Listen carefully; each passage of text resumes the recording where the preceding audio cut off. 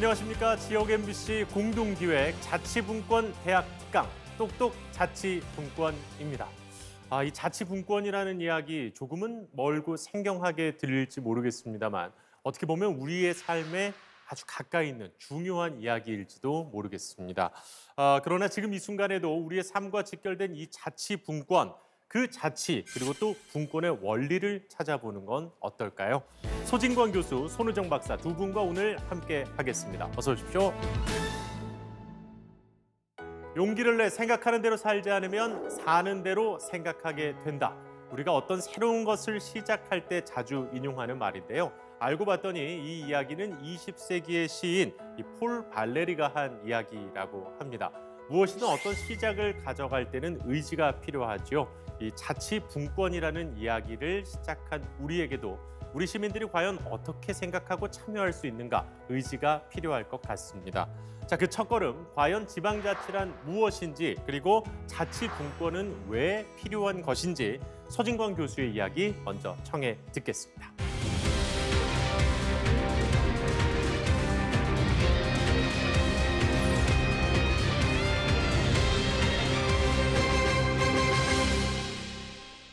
제가 말씀드릴 내용은 지방자치의 원리와 왜 자치분권이 필요한지에 대해서 이미 뭐 허이로 아나운서께서 말씀을 하셨듯이 우리 일상과 관련된 이야기에 해당이 될 겁니다.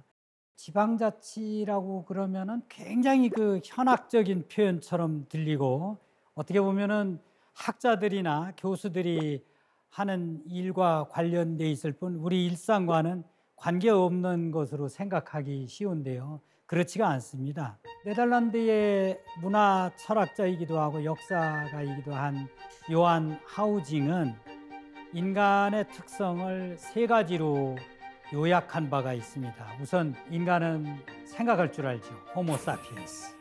그다음에 두 번째는 인간은 도구를 활용할 줄 알죠. 그래서 호모 어, 파베르. 그다음에 마지막으로 인간은 놀이를 통해서 즐길 줄 안다고 요약을 하고 있습니다. 그런데 이 마지막 호모 루덴스, 즉 놀이를 통해서 즐길 줄 아는 인간이라는 특성이 인간이 다른 동물에 비해서 사회성이 높다는 뜻을 의미하죠. 즉 놀이를 통해서 즐길 줄 아는 그런 관계를 통해서 지나오는 과정에서 자신이 부족한 것을 공동체를 만들어 가지고 그 공동체로부터 보충받는 그런 상호작용 과정이 이제 시족 사회를 만들고 부족 사회를 이루게 되는 원천일 것이다. 이런 이제 추정이 가능하죠. 그렇게 본다면은 시족 사회라는 공동체의 관리 방식이라든가 또 나아가서 부족 사회의 관리 방식 이런 등등이 어, 오늘날 지방자치와 너무나 같다는 그런 그 결론에 다다를 수 있을 것 같습니다. 오늘날에도 아마존강 유역이든지 인도네시아 수마트라 섬이라든가 이런 열대 우림 밀림 지역에는 아직도 외부와 연락을 단절한 채 국가라는 존재 없이도 자치를 통해서 공동체의 어떤 내부적 결속을 강화하고 외부로부터의 어떤 그 이 안보, 내부의 안보를 도모하는 그런 과정을 볼 수 있을 것 같습니다. 따라서 지방자치라는 것은 우리 생활과 굉장히 멀리 떨어져 있는 그런 이야기가 아니고 우리 일상생활에서 늘상 부딪히는 우리 생활에 대한 공동 가치를 관리하는 방식이다. 그렇다면 지방자치를 어떻게 그 조직하고 우리 공동체를 어떻게 형성하고 어떻게 관리하는 것이 내가 노력을 최소한으로 들여서 최대의 효능을 얻을 수 있을까 하는 문제에 이제 부딪히게 되겠죠. 그럴 때 대두되는 원칙이 하나가 있습니다. 그건 뭔가 하니 같은 것은 같게 관리를 하고 다른 것은 다르게 관리해야 된다는 얘기죠. 여러분, 우리는 개인으로서의 존재도 있지만은 어떤 공동체 이론으로서의 존재도 있는 거죠. 그런데 개인으로서의 존재와 어떤 집단 공동체 구성원으로서의 존재는 종종 상호 충돌하게 돼 있습니다. 그건 뭔가 하니 개인으로서 존재는 자신만의 자유를 확대하고 싶어 해요. 그러다 보면은 다른 사람의 존재와 상호 충돌할 가능성이 많아지고 이러한 충돌을 관리하기 위해서 공동체가 필요한 거 아니겠습니까? 그런데 또 그런 공동체의 구성원으로서의 존재는 자신이 누리고자 하는 자유의 일부를 유부해야만 그러한 공동체 가치를 유지할 수 있고 공동체를 형성하고 관리할 수 있는 그런 그 현실적인 문제와 직면하게 되는 거죠. 자, 그렇다면 지방자치 장점이 무엇일까요? 어, 지방자치는 지방마다 여러 다양한 조건에 조건에 놓여 있기 때문에 지방마다 여건이 달라요.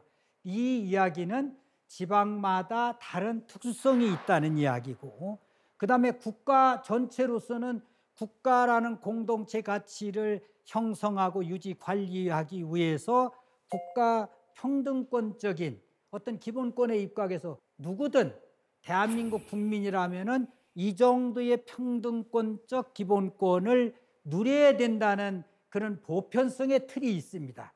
따라서 지방자치를 하게 되면은 각 지방마다 자치를 통해서 특수성을 충분히 살리고도 또 대한민국의 구성원으로서 대한민국 전체적인 보편적 틀을 충족시켜 줄 수 있는 또 다른 계층의 공동체가 있는 그런 장점을 지니고 있다는 거죠. 그렇다면 이러한 지방자치의 장점을 살리기 위해서 지방자치를 어떠한 원리에 의해서 조직하고 운영하느냐 하는 문제가 중요하게 대두가 될 겁니다.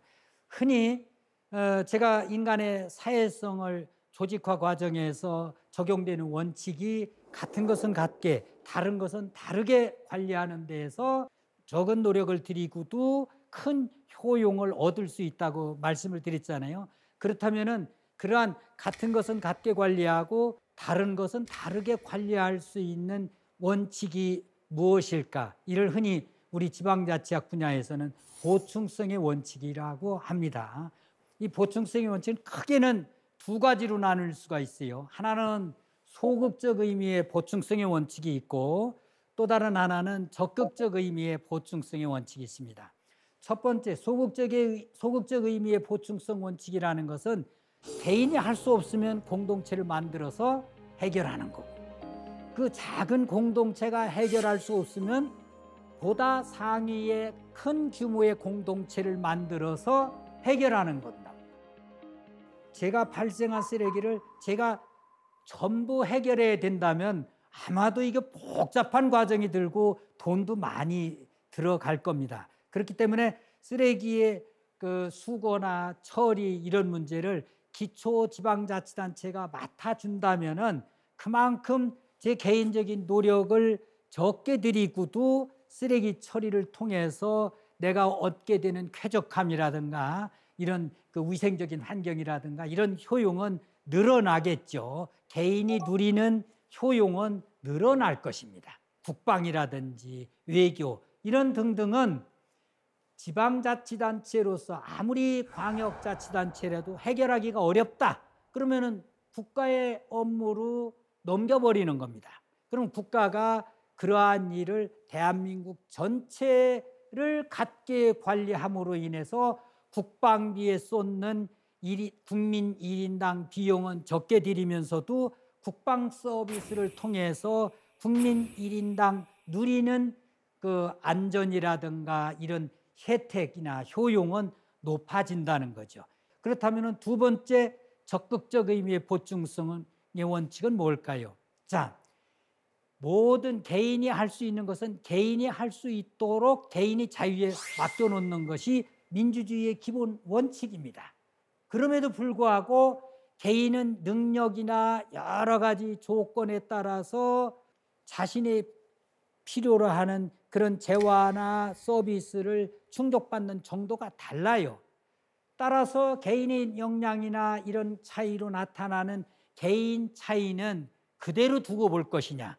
그렇지 않고 공동체가 현저히 처진 개인의 부족한 점을 보충해주고 또 기초적인 공동체가 자율적으로 운영됨으로 인해서 기초적인 지방 단위끼리의 격차가 벌어질 경우에도 현저히 평균에 미달하는 지체 지역이라든가 낙후 지역을 상위 지방자치단체 혹은 상위 정부가 낙후 지역이나 지역을 적극적으로 보충해서 끌어올리는 것이 두 번째 적극적 의미의 보충성의 원칙입니다. 자, 그렇다면은 이 두 번째 적극적 의미의 보충성의 원칙이 작용하는 범위는 어느 정도일까요? 부족한 개인을 보충해 준다고 그랬을 때 그 개인을 보충해 줄 때에는 그 개인이 부족한 부분만 보충해 줘야 나머지 이 사람도 스스로 노력해서 자신의 노력으로 자신의 그 효용을 다 한다는 보람을 느끼게 되는 거지. 부족하지도 않은 부분까지 채워준다면은 누가 노력을 하겠습니까? 그렇다면은 민주주의나 이런 효능을 그대로 발휘가 할수 없겠죠. 자, 그렇다면은 여러분들 무조건 자치분권이 좋고 지방자치가 다 좋은 것처럼 생각하기 쉽잖아요. 기초 지방자치단체가 자신이 할 수 있는 일을 마음대로 하게 된다면은 어떤 결과가 나타날 수, 나타날 수 있을까요? 자, 역사를 한번 거슬러 봅시다. 원시 시, 시 대로 지금 시간 여행을 떠난다고 해보시면은 원시 사회에서 우리는 어떤 방식으로 시족 사회를 운영하고 부족 사회를 운영했겠습니까? 그 경우에는 대부분 내부의 결속력을 중요시했기 때문에 외부로부터의 어떤 낯선 요소의 투입에 대해서는 굉장히 적대시했거나 배타적이었을 것입니다. 그런 방식으로 여러분 아마 1950년대, 60년대, 70년대 초반까지만 해도 우리나라의 전통 사회는 인접 마을에 대해서도 배타적인 성향이 배타적인 성향이 강했던 그런 그 생각을 기억을 하시는 분들이 많으실 텐데요.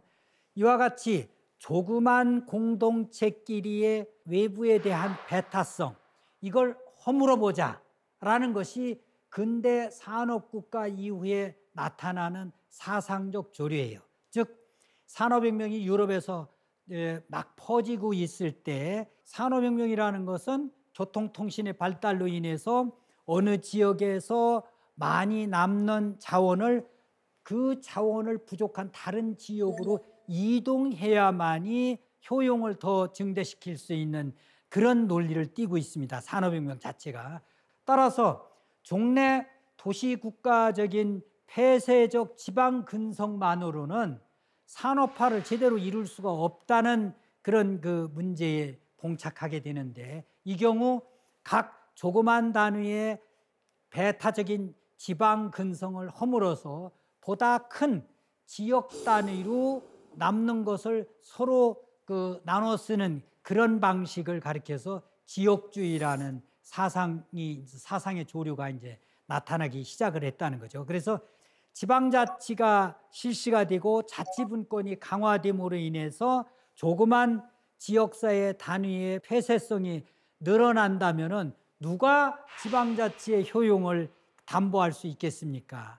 그러나 다행히도 우리가 지역주의라는 산업화 논리의 통합성 원리가 어, 우리 인식하에 잠재해 있기 때문에 이런 지방자치나 자치분권이 강화되더라도 지역주의에 의해서 전체 국가의 발전으로 합일되리라는 즉 지방의 발전이 합해서 지역의 발전이 되고 지역의 발전이 합해서 국가 발전이 된다는 자연스러운 어떤 그 통합 기제가 바로 지역주의라는 거죠. 따라서 지방자치의 사상적 근간은 지역주의라는 겁니다. 지역주의가 없다면은 지방자치 실시로 인한 효능감도 떨어지고 오히려 같은 국가 안에서 서로 폐쇄성만 늘어나기 때문에 서로 지방끼리의 배타적 성향만 늘어나기 때문에 각 지역이 갖는 장점을 모든 국민이 골고루 나눠 쓸 수 없는 그런 경우가 될 것입니다. 따라서 지역주의는 우리 지방자치나 자치분권을 강화해야 된다는 주장의 어떤 사상적 근간으로 여기게 되는 거죠. 자, 그렇다면은 지방자치에 대한 실천력을 제고할 수 있는 그 사례는 없느냐? 많습니다. 우리나라의 경우에도 많고 또 외국 경우에도 많은데 오늘 이 시간에는 그 2009년 노벨 경제학상을 탄 엘리노 오스트롬이라는 그 이 경제학자가 이 터키 남부 해안의 알라니아 어촌 지방을 중심으로 어, 분석한 결과를 잠깐 소개하고자 합니다. 알라냐 지방은 어촌 지방으로서 약 100여 가구가 주로 어업을 통해서 생계를 유지하는 그런 마을입니다. 그런데 종래에는 각자 앞바다에서 어로 작업을 통해서 앞바다는 공유 지분이 되지 않겠습니까?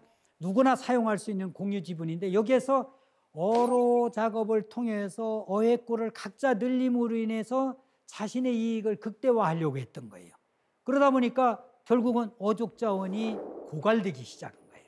그래서 하다못해 어, 이 백여 가구의 어민들이 어촌계를 만드는 거죠. 앞바다의 어족 자원을 지속 가능할 수 있도록 관리하는 것이 우리의 관건인데 그렇다면은 우리가 어떻게 해야 될까 해서 어촌계에서 규칙을 만든 겁니다. 즉 앞바다를 백등분해서 각 그 호당 그 어로 작업을 할 수 있는 구획을 정해 주는데 추천 방식에 의해서 매년 결정을 달리함으로 인해서 앞바다 모두가 내 것이라는 주인 의식, 소유 의식을 부여하게 된 거죠. 그로 인해서 불과 몇 년 만에 어족 자원이 풍부해져서 지속적으로 어로 작업을 하면서도 그 어족 자원이 고갈되지 않는 그런 경우를 오스트롬 교수가 분석을 해서 2009년도에 노벨 경제학상을 탔던 겁니다. 이와 같이 의사 결정에 참여하지 않으면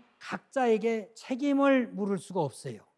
또 의사 결정에 참여함으로 인해서 스스로 결정한 것에 대해서는 그만큼 그 준수력, 실천력이 높아진다는 거죠. 우리가 오늘날 기후 변화라든가 환경 변화라든가 이런 것이 인류 전체의 어떤 위험 요소로 지금 크게 지금 부상을 하고 있는데 이런 문제도 바로 자치분권을 강화한다라든가 지방자치를 통해서 해결하게 되면 그만큼 실천력이 높아지기 때문에 각자 주민들이 실천을 통해서 전체 사회가 덕을 보게 되는 전체 사회의 지속 가능성을 높여주는 그런 효과를 발휘하게 될 것이다. 라는 것이 이제 지방자치의 어떤 실천력 제고와 관련된 문제죠. 따라서 1992년 소위 ESSD라고 그래서 그 유엔이 브라질의 리우데자네이루에서 환경에 관련한 지구 정상회의를 개최하면서 의제 21, 아젠다 21, 즉 21세기에 인류가 공동으로 해결해야 될 과제를 설정하고 그걸 실천하기 위해서 지방자치단체별로 또 광역자치단체별로 또 국가별로 또 분야별로 어떤 그 이제 20일을 실천할 수 있을까를 만들어서 제출하도록 되어 있는데 그 경우에도 이해 당사자를 모두 참여시킨 가운데 그런 의제 20일을 만들어야 된다라고 주장하게 되는 것도 이런 참여 없이 책임 없고 책임 없이는 공동의 일에 대한 주도권과 주인 의식을 높일 수 없다는데 근거해서 나온 이야기죠. 결국은 자치분권이라든가 지방분권이 강화되어야 된다는 실익은 주민들한테 주도권과 주인 의식을 부여함으로 인해서 공동의 문제를 스스로 해결할 수 있게 하는 실천력 때문이라고 우리가 생각을 할 수가 있는 거죠. 감사합니다.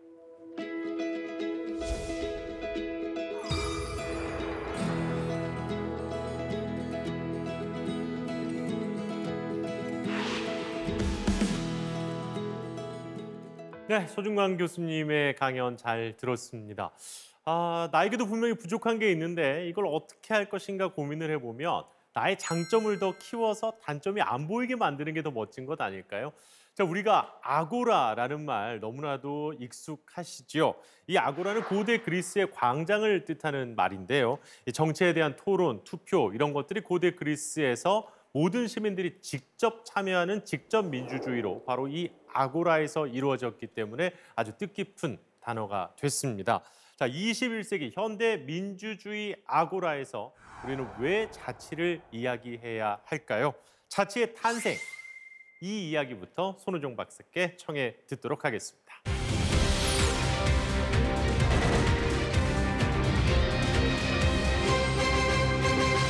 예, 자치의 탄생이 오늘 제가 여러분과 함께 나눠볼 이야기입니다. 이 이야기는 많은 철학자들이나 학자들이 주된 화두로 이야기를 풀어왔는데요. 우리가 잘 알고 있는 토마스 홉스, 존 로크, 장자크 루소, 우리가 사회 계약론자라고 고등학교 교과서에서 많이 배우셨을 겁니다. 이 사람들이 풀어갔던 이야기를 통해서 민주주의와 자치에 대해서 함께 이야기를 나눠보려고 합니다. 첫 번째 제가 드리고 싶은 키워드는 인구 최, 인류 최고의 발명품이라는 어, 내용입니다. 근데 어떤 분은 인류 최고의 발명품이 증기기관차다, 전기다, 아니면 요즘에는 비트코인이다 이런 이야기를 하실 수도 있습니다. 사회 계약론자의 관점에서 발명품이 뭘까, 최고의 발명품이 뭘까라고 생각해 본다면 조금 다른 이야기를 해볼 수 있을 것 같아요. 그러니까 이 사람들이 했던 하나의 공통적인 의문, 풀려고 했던 문제는 바로 이것이었습니다. 국가 권력의 정당성은 어디에서 나올까? 바로 이 질문이었죠. 근데 이 문제를 해명하기 위해서는 또 하나의 질문이 필요했습니다.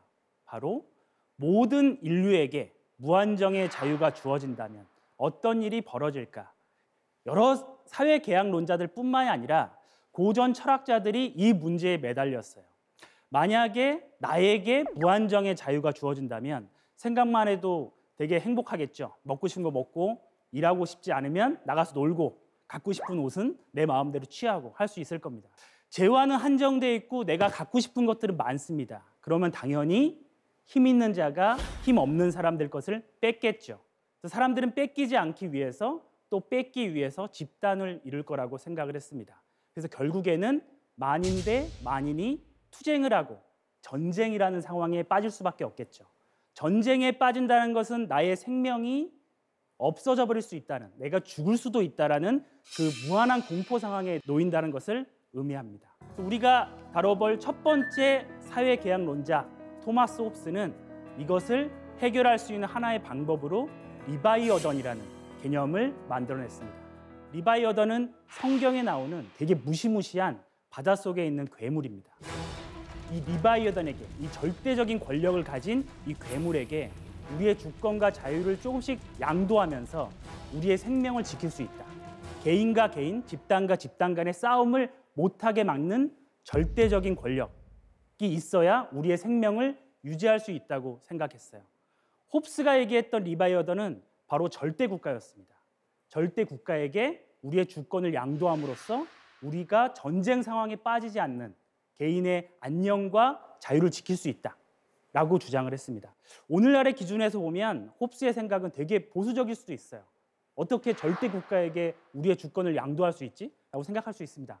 근데 홉스가 활동했던 당시는 왕의 권력이, 국가의 권력이 어디에서 나온다고 했습니까? 바로 신으로부터 부여받는다고 생각을 했어요. 근데 홉스는 바로 이것이 국가의 권력이 국민으로부터 나온다. 라는 식의 발상의 전환을 했던 겁니다. 되게 혁신적인 생각이었죠. 근데 홉스의 문제는 뭐냐면 절대적인 국가에게 우리의 주권을 양도해서 우리의 안녕이 지켜줄 수 있다고 한다면 그것이 진정한 자유일까? 루소가 이런 말을 했죠. 홉스가 얘기하는 자유는 감옥 안의 자유다. 감옥 안에서의 안녕이다. 이런 이야기를 했습니다. 여기서 딜레마가 생깁니다. 무한정의 자유를 주면 전쟁 상황에서 나의 생명을 잃어버릴 수도 있고 그것을 막기 위해 절대적인 권력에게 우리를 규제하고 우리가 구속당할 규칙을 만들어 달라고 하면 감옥 속의 안녕, 감옥 속의 자유에 머물게 되게 되는 이 딜레마, 이 아이러니 이걸 어떻게 풀 것인가? 이것이 화두였어요. 여기서 제가 생각하는 인류 최고의 발명품이 나옵니다. 그 민주주의라는 개념이었죠. 민주주의는 바로 이런 발상에 전환을 했습니다.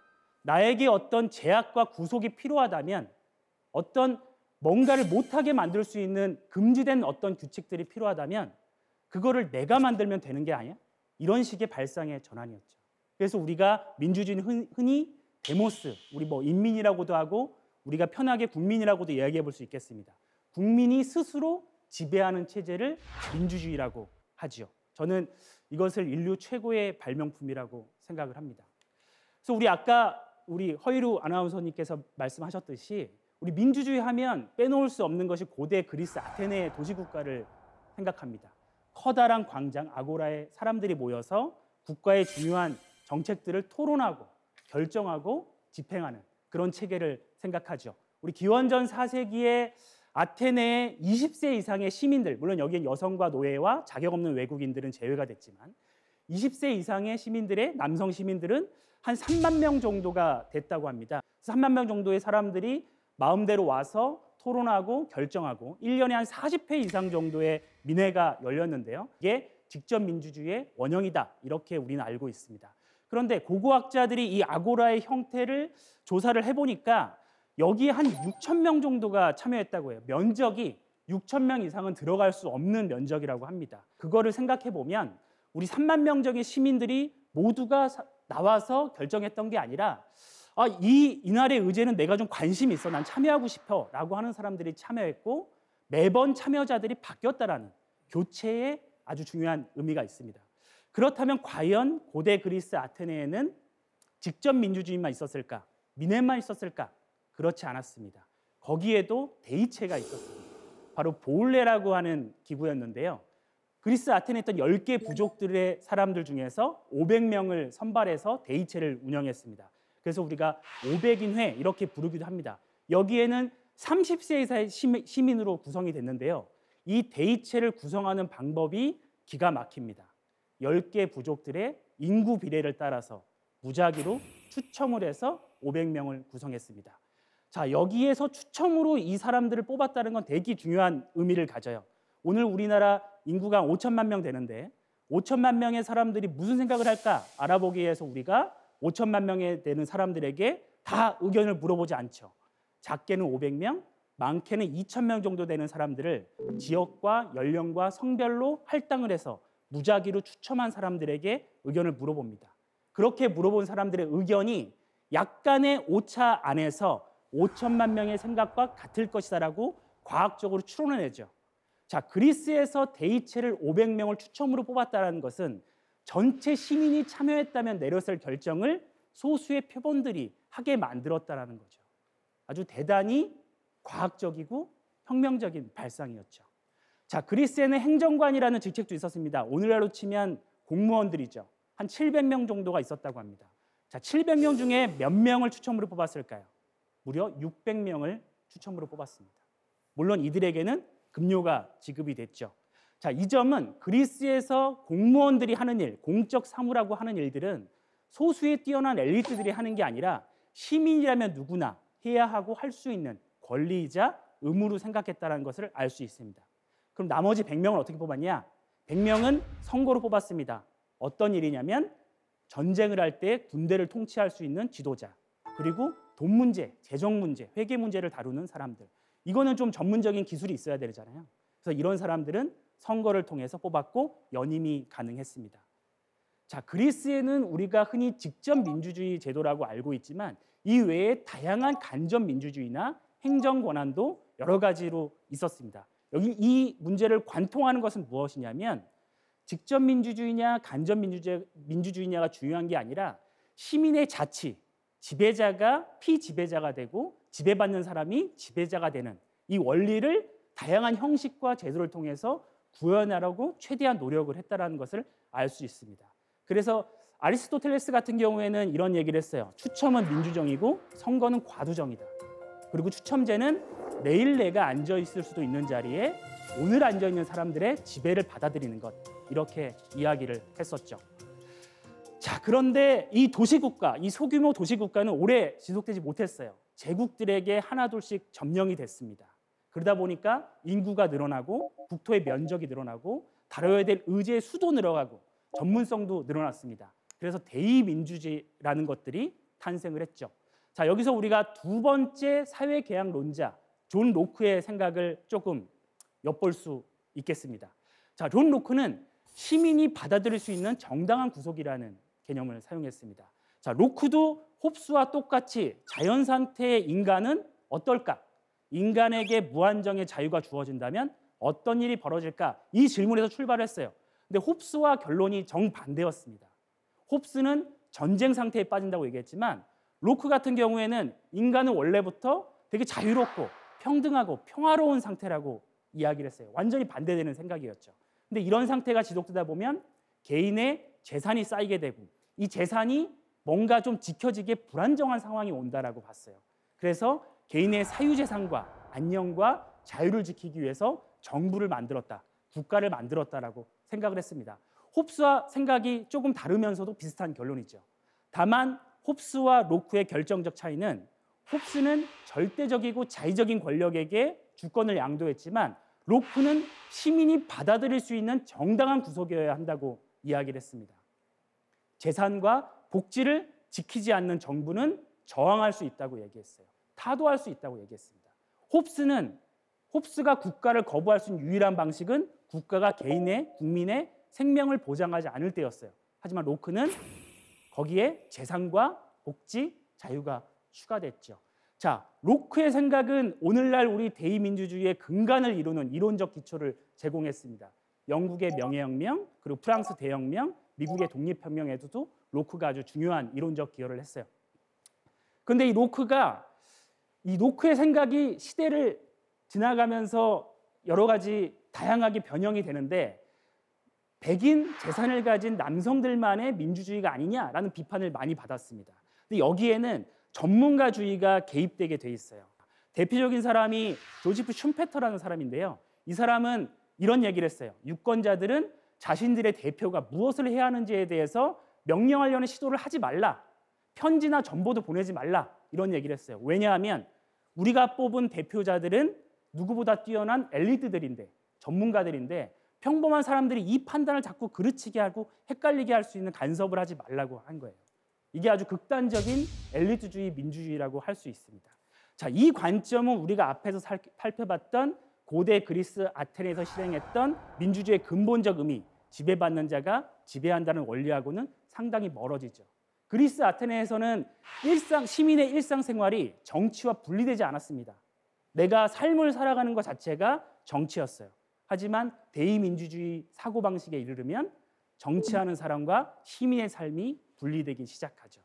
자, 그런데 간과하지 말아야 될 것은 민주주의라고 하는 것은 아주 디테일하고 세부적인 기술적인 문제를 제외하면 공동체의 매우 중요한 문제를 평범한 시민들이 결정할 수 있다라는 전제 하에서만 작동할 수 있다는 거죠. 만약에 이 전제가 무너진다면 어떻게 되겠습니까?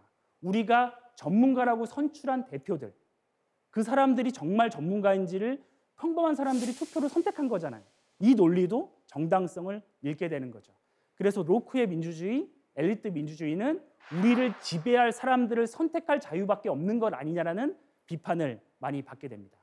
자, 또 하나의 극단적 민주주의의 변형을 한번 이야기해 보려고 하는데요. 독재와 민주주의입니다. 많은 분들이 독재와 민주주의는 완전히 대립하는 개념 아니야? 이렇게 생각하실 수도 있습니다. 하지만 이제까지 독재를 자임했던 독재 권력을 휘둘렀던 사람들 치고 내가 민주주의를 하지 않고 있다. 나는 민주주의와 다르다라고 얘기한 사람은 아무도 없어요.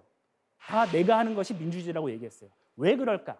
자, 이 이야기를 하기에 앞서 우리 마지막 어, 사회계약론자 루소의 이야기를 먼저 한번 살펴보려고 합니다. 루소도 자연 상태의 인간에 대해서 먼저 사고를 시작했습니다.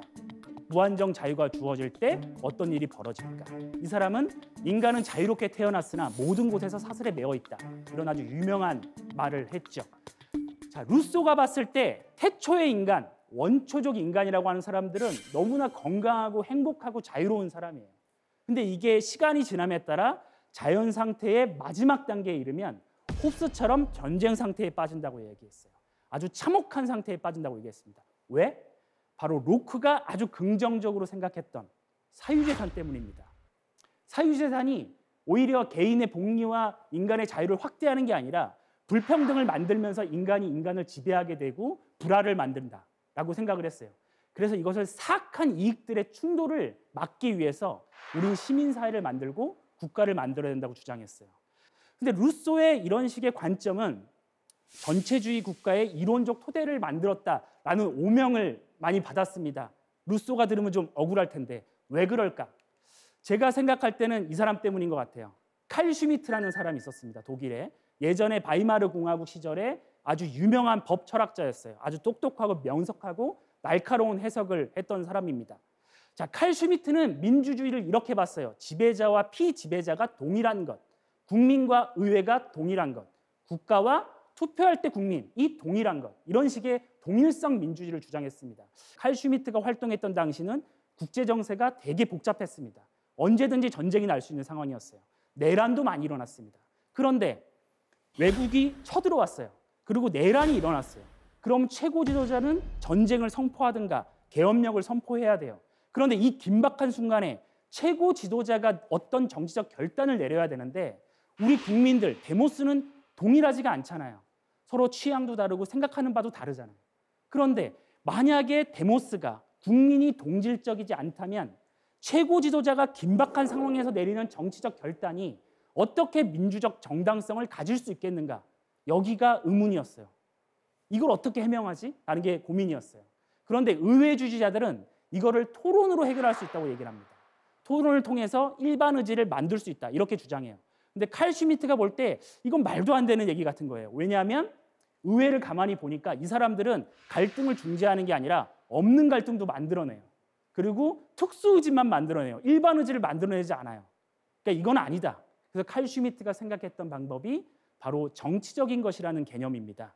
국가라는 것은 정치적인 것을 전제하는데 이 정치적인 것은 적과 동지를 구분하는 것에서 시작한다라는 유명한 말을 합니다.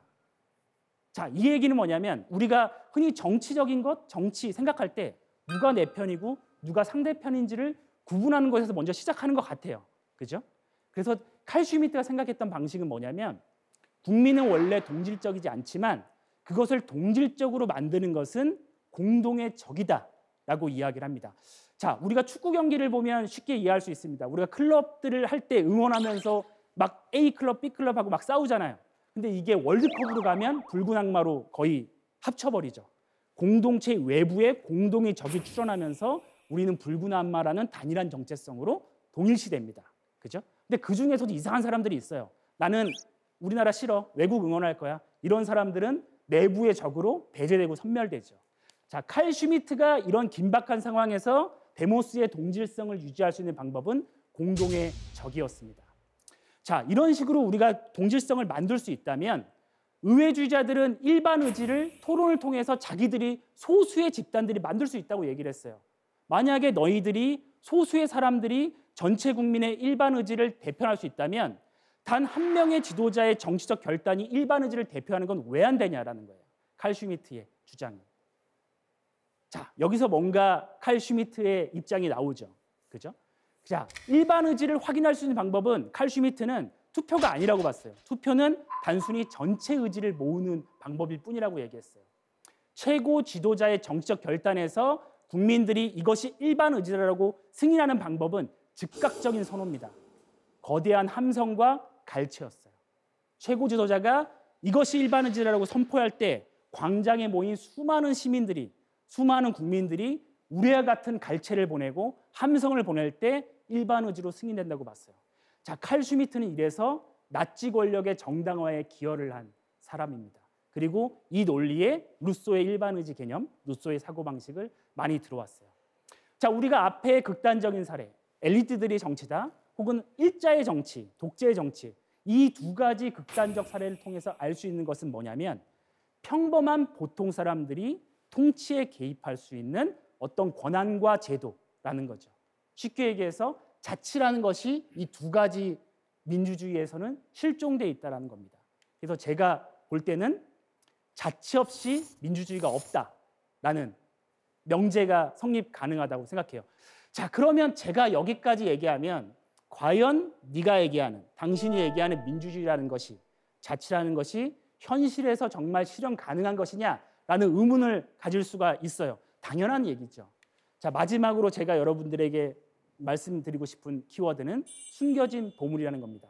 한국 민주주의도 상당히 많이 진전돼 왔어요. 우리 지방자치 수준에서는 주민 투표제, 소환제도 도입됐고요. 마을 공동체 운동이라고 해서 그 지역부터의 자치를 실험하려는 운동도 많이 퍼져나가고 있습니다. 그리고 이미 서울에서는 그리스처럼 추첨으로 주민자치회를 구성하는 실험도 많이 진행되고 있어요. 그럼에도 불구하고 우리 대한민국은 인구의 반이 수도권에 몰려 삽니다. 그리고 OECD 국가 중에 가장 일을 많이 해요. 관호동의 최고 수준입니다. 그리고 근무지와 주거지가 달라요. 보통 보통 서울 같은 경우에 45분 정도 출근 시간이 걸려요. 그러다 보니까 지역에 사람이 없습니다. 주민 자치를 하고 싶어도 사람이 없어요. 선거를 나가보면 알죠. 동네에 사람이 없습니다. 이러면 자치를 어떻게 하란 말이냐?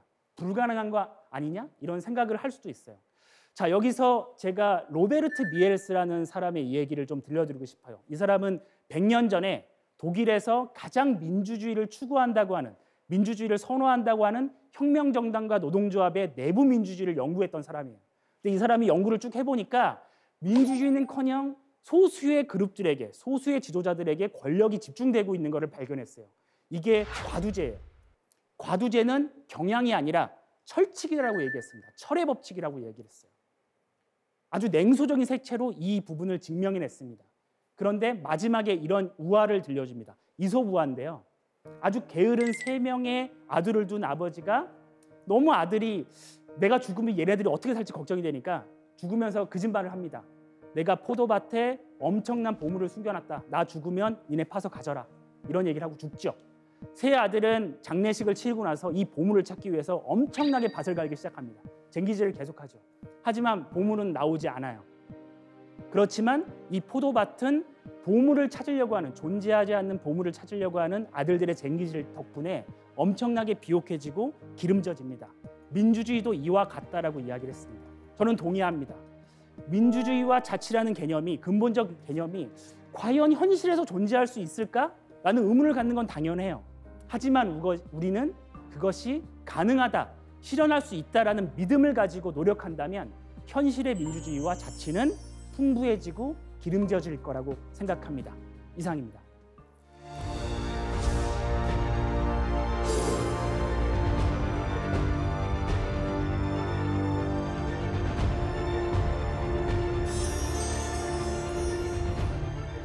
네, 서진광 교수 그리고 손호정 박사의 강연 잘 들었습니다. 와, 너무 재밌고 흥미로운 얘기들이 많았어요. 예, 특히 아테네에서 고대 아테네에서 지금 하는 여론조사랑 비슷한 게 있었다는 것도 상당히 놀라웠고 네. 일단은 인간이 무한한 자유가 주어진다면 예. 과연 세상은 어떻게 될 것인가에서부터 이런 근원적인 예, 예, 예. 질문들이 나온 거잖아요. 예. 박사님 생각은 어떠세요? 어, 저는 일단 무한정의 자유가 주어, 주어지면 어, 대문을 굳게 잠그고 음. 잘안 나갈 것 같습니다. 사실은 힘과 힘이 동일하지 않은 상황에서 물론 예. 자치나 이런 것들이 공동체가 우리 교수님 말씀하신 것처럼 태초에는 자연 발생적인 자치가 이루어지고 자연적인 규제가 있긴 했거든요. 근데 그것이 없을 때 양육강식의 세계가 벌어질 수밖에 없기 때문에 네. 저같이 이제 허약하고 이런 분들은 좀 대로에 나가지 마시고 집안에 계시는 게 좀 안전할 수 있겠죠. 어, 교수님 생각은 어떠세요? 마찬가지겠죠. 무슨 예. 뭐 우리가 흔히 정글의 법칙, 정글의 법칙 어, 그러는데 맞아요, 맞아요. 그 누가 나보다 더 센지 누가 더 나보다 약한지를 모르잖아요. 음. 그러면은 손 박사님 말씀대로 우선 남을 접촉하지 않는 게 최상의 방법. 아이고야. 진짜 그 그렇게 되면은 집 밖으로 나가면은 위험해서 못 나가겠네요, 정말. 근데 그 영화를 보면 예. 요즘에 좀비 영화가 많이 있죠. 아, 그렇죠, 그렇죠, 그렇죠. 좀비 영화, 영화가 이제 모든 기존의 규범들과 규제가 다 무너진 상황을 그려 음. 자연 상태를 그려지는 거거든요. 근데 좀비라는 괴물에 대한 공포도 있지만 사실은 다른 살아남은 다른 인류에 대한 공포심도 되게 중요하게 작용을 합니다. 그러니까 네. 그런 것들로 연상해 보면 쉽게 상상해 볼 수 있을 것 같아요. 음. 저는 또 우리 교수님 강연 중에서 아주 인상적이었던 것이 어, 보충성의 원칙에 대한 네. 부분이었습니다. 그러니까 소극적 의미의 이제 보충성 원칙 그리고 적극적 의미의 보충성 원칙을 얘기를 해주셨는데 말씀해주신 대로 뭐 지방세도 많이 거치고 그리고 좀 여유로운 주민들이 좀 많이 사는 그런 곳은 여유가 좀 있고 그렇지. 그리고 이제 인구수가 좀 적다거나 생산 가능 인구가 좀 적은 지역은 상대적으로 재원이 취약할 수밖에 없는데 어떻게 우리나라에서는 이런 좀 소극적으로나 적극적으로나 보충성의 원칙이 이 지방자치단체들 가운데 그 사이에서 잘 좀 유지가 되고 있다고 보십니까? 그러니까 원래 의미대로 소극적 의미의 보충성 원칙이라는 것은 내 스스로 할 수 있는 게 우선이에요. 그렇죠. 예.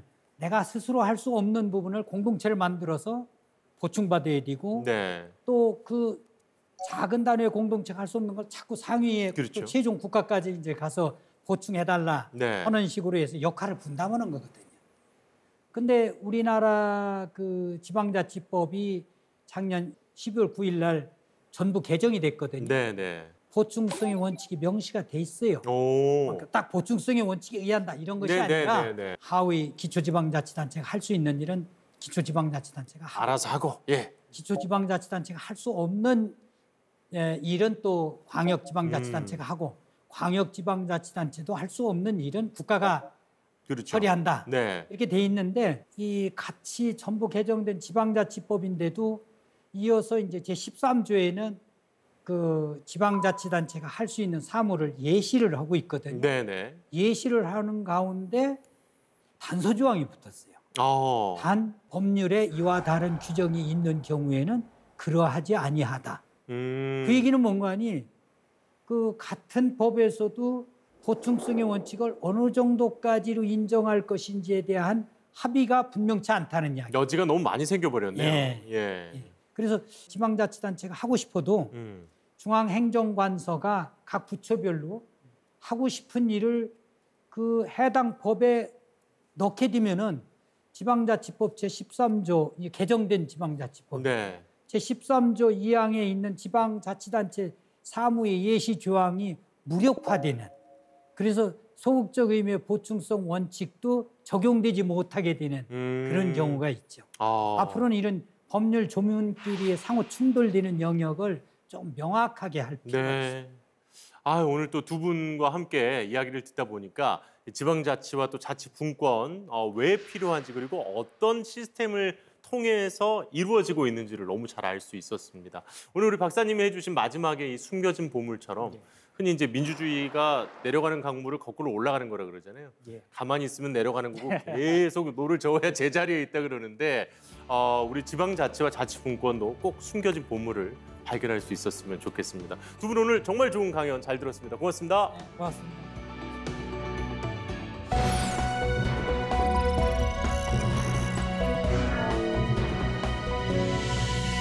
남들이 다 절벽에서 뛰어내리니까 나도 모르게 따라서 뛰어내리는 이 레밍이라는 동물의 다큐멘터리를 본 기억이 났습니다.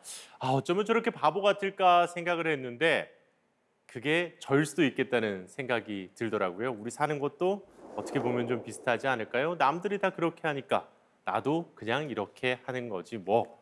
하지만 이 민주사회를 살아가고 있는 우리 시민들이라면 이 남들에게 살짝 묻어가는 인생보다는 과연 나에게 무엇이 필요하고 내가 어떻게 생각하고 행동해야 할 것인지를 스스로에게 한번 물어보시는 건 어떨까라는 생각이 오늘 들었습니다. 자, 현대 민주주의 시대를 살아가는 우리 시민들의 권리이자 의무를 다시 한번 되새겨보는 시간이었습니다. 자, 지역 MBC 공동 기획 자치분권 대학 등강 똑똑 자치분권입니다. 저희는 다음 시간에 다시 인사드리겠습니다.